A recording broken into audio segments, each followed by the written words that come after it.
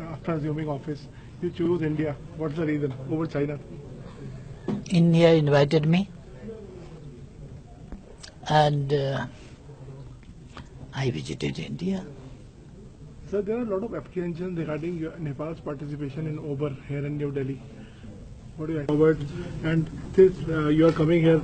Agreements, uh, uh, friendship is more mm, important than any agreement. Thank you so much. Sir. Thank you so much. You so much. Thank you so much. Thank you so much. Thank you so much. Thank you so much. Thank you so much. Thank you so much. Thank you so much.